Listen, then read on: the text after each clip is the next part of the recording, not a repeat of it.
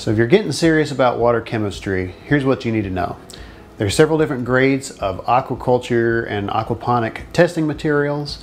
Some of them work better than others. What we have here is a range of some of the higher end ones that work really well. So we're looking at dissolved oxygen, temperature, pH are very important to, to monitor on a daily basis. If we're looking at twice weekly, we're looking at ammonia, nitrite, nitrate, and alkalinity. And then beyond that, we have some other chemicals that we can test. Another one that's really important to test in aquaponics is iron.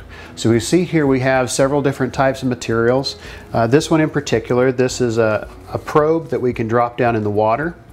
Um, and this one measures temperature, pH, and dissolved oxygen. So this is the pH probe. We'll pull this cap off and put that in the water. And this is a dissolved oxygen probe that uses light in order to determine how much oxygen is dissolved in the water. Um, also, we have a water chemistry testing kit. We have some supplies set out here. We've got a brand new aquaponics water quality testing kit here. Um, and in these, you're going to get instructions on how to do the test. You're going to see um, all these different types of reagents and testing tubes. And this is what you're going to want if you want to be pretty accurate on your testing numbers, what you're going to get for your aquaculture water quality numbers. And so we have some of those tests set out here. Uh, in addition, we have a sample bottle. So this has got some of our aquaponic water in it already. I like to use the squirty bottle because um, it allows me to fill these test tubes up very accurately and quickly. Um, this is something that you'll be doing, you know, multiple times per week, and it takes time, so you want to do it quick and accurate and not have to redo your test. Uh, we have a monitoring data sheet here, so we can we can record, you know, when we did our testing, who did it, what tank it came from, what our temperature, pH, dissolved oxygen, ammonia, nitrite, nitrate, and alkalinity are. And if we see any changes in water chemistry over time, we can record those here. There's uh, several different companies that provide the, these materials. Um, but it's really nice that we have these testing kits that are already set up so that you have um, the, the reagents in the, in the right amount, that they're very quick and easy for uh, a user to be able to get those um, water chemistry numbers that they're looking for. This particular system is a spectrophotometer and we're, uh, we're going to test iron with a specific one. Um, and this is what you call test and tube. So we'll have instructions here and we'll take one of these individual tubes we can pull this out here and uh, follow the instructions. It already has the, the, um, the vial here. It has a barcode that this machine will read and it'll tell us what the numbers are. So the reagents are in there. All you do is add two milliliters of sample, shake it, wait for the time, wait 15 minutes, and then you'll stick it in here and it'll spin and read the numbers and give you a number back. So let's go ahead and get started testing some of our water chemistry. First of all, I'm going to put on some personal protective equipment uh, so that I keep my hands and my eyes and my clothing safe um, to keep these chemicals off of me. So the first thing I want to do is test temperature. Because we pulled our fresh sample out, I can go ahead and stick my thermometer inside of here and wait a couple of minutes in order to get that number. Other things you'll see here in the meantime, I have my test tubes set up I'm going to do pH, ammonia, nitrite, and nitrate. And I like to use this testing rack so they don't get knocked over. And I've got everything set up here um, with the proper reagent sitting right in front of them to make this as quick as possible. So after we've waited a couple of minutes, we can look here and we're reading a temperature of about 23 degrees Celsius, which is going to be in the um, right around room temperature in the, in the low 70s. So I'll go ahead and record that number here. So the next test that I'll do is pH. Put their cap back on here. So in reading our instructions, I see that I need to fill, I need to choose the proper test tube and the OctaSlide. So what that is, we have this uh, where we're able to compare each of our uh, test tubes will fit inside of here and once we have our sample in there and they turn colors we can put these different um, strips in here to figure out how to compare which color is which. So I'll slide the pH inside of here and so once I add my reagents and get the color change I can compare and figure out what my pH is. So in the pH specifically we're looking for 10 milliliters of sample and I'll add 8 drops of my pH indicator. So if I look here, I have our 10 milliliter line is way up here at the top. So I'm going to fill the sample all the way to 10 milliliters. Okay, and then next I'm going to take and add eight drops of the sample or of the reagent.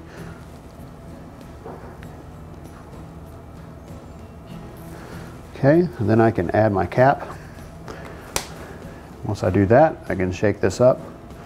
Make sure I get good mixing throughout this water. Now, I want to get my other tests started so that I'm being time efficient. So I can go ahead and start with ammonia next. So ammonia needs to add five milliliters of the sample into the test tube. So I'm going to go here and add up to the five milliliter line. And then I can set this into my rack. And then I'll start with ammonia reagent number one. And I need to add four drops of this. One, two, three, four. Okay. All right. So following my instructions here, I need to cap and mix and wait for one minute. So I'll go ahead and mix this, set this aside, and move to the next one. Our next test is going to be nitrite. So we're looking at filling our test tube to the 2.5 milliliter mark. So we're going to go ahead and fill up to 2.5 milliliters. And the next step, according to the instructions, is to fill the rest of the way up with our mixed acid reagent up to 5 milliliters. So that's this one here. I'll go ahead and mix that. And I can hold the sample and fill it up to the 5 milliliter line. Okay. Once I've done this, following the instructions. I'm going to look, I'm going to add, use the 0.1 gram spoon to add uh, 0.1 grams of the color developing reagent. So I have that here in this small container. Uh, and it's kind of a, a powdery substance. And I'll take my little 0.1 gram spoon here and go ahead and collect a level level spoon sample.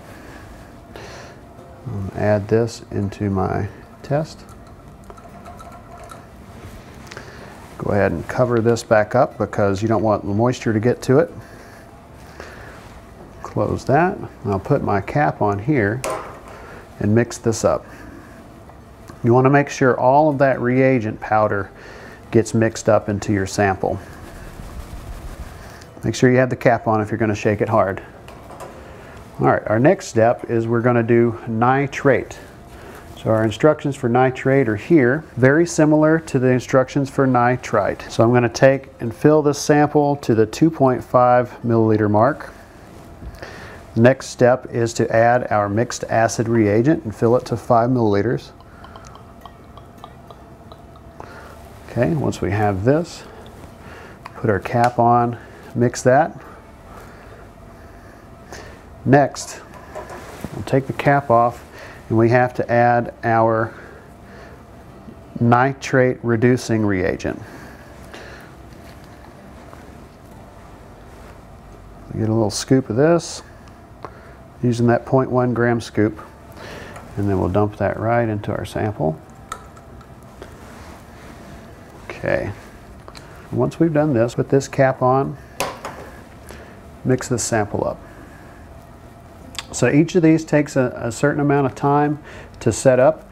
And if you look here, according to these instructions, we need to wait 10 minutes for our nitrate numbers to establish or wait for our, our color to develop. You see it's already turning pink here. So 10 minutes we'll be able to read an accurate number here. But in the meantime, I'm going to go back to our ammonia. Uh, we have not yet added our ammonia reagent number two. Um, so you look here, we need 12 drops of ammonia reagent number two. You want to mix this up and be careful with this particular one as it is toxic. So you don't want to get that on you and you want to dispose of it properly. The cap back on this. Then we will cover this sample, mix it up. So we need to wait five minutes before we read our numbers here.